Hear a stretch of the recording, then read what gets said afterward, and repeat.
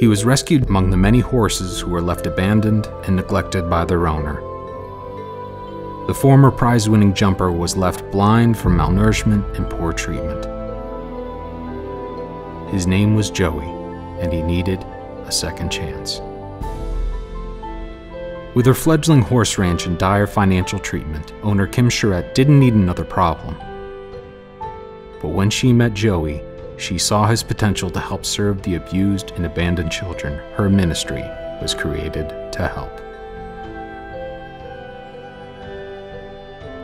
A story of loyalty, friendship, healing, and the power of blind faith.